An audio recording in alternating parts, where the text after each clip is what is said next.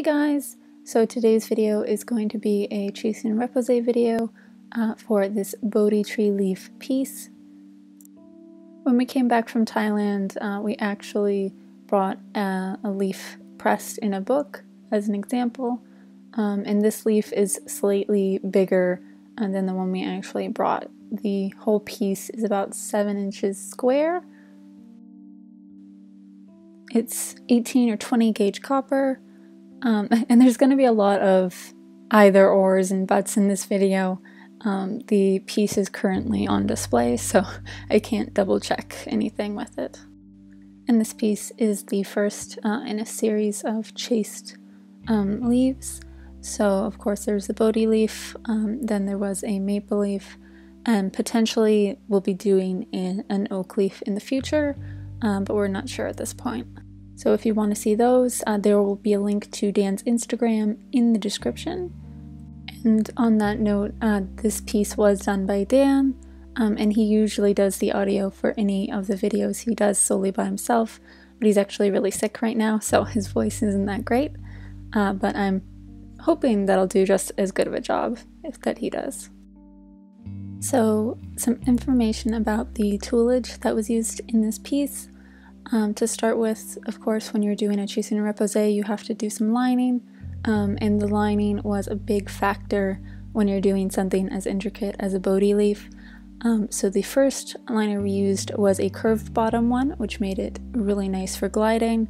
Uh, but then to get some of the more intricate vines in there, um, Dan actually went back. Um, well, all of his pushers and all of his liners he makes himself, uh, but he actually went back at, the beginning of this project uh, and made an even thinner and a completely flat liner uh, to get into the little tiny pieces.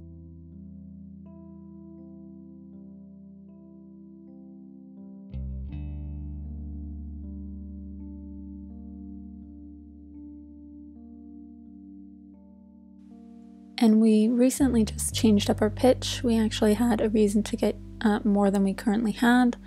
Uh, and the pitch that we got, which we've used in this project, is uh, from Northwest Pitchworks, uh, and it's the medium pine pitch. Um, so far, it's been really great, and it works. obviously, works really much better than plain black pitch. Uh, it's cleaner, it smells way better, um, and it's actually a lot softer than the red German pitch.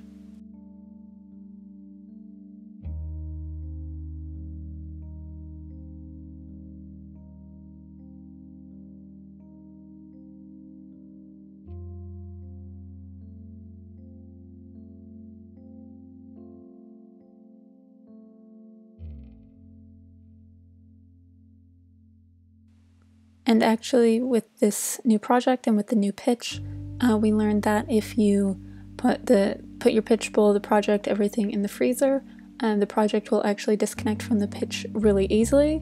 Um, instead of trying to heat up the project in the pitch and then you take it off and it's this goopy, disgusting mess. Um, and then you end up with excess that you either have to burn away or use paint thinner or, or some other chemical to get rid of. Um, this way, it's just one quick kind of um, tap on the side, you pull it off, it's, it's done.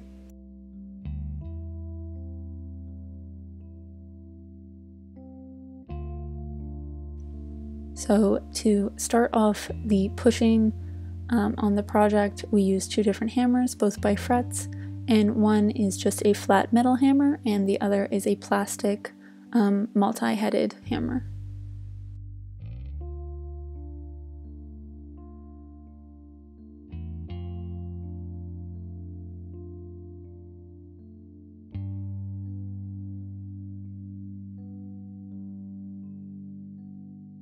So the main two pushers that were used on this project uh, was a teardrop pusher, this one right here, um, and then later on a flatter uh, that has an upset on it. So you can kind of get slightly underneath things, uh, which is really handy. Um, and the main thing about the teardrop pusher is because it has the, the small side and then the large side, um, you can kind of create a tapered line as well as get into different um, crevices and the beginning, um, well, the top of that Bodhi leaf, the teardrop was really helpful for.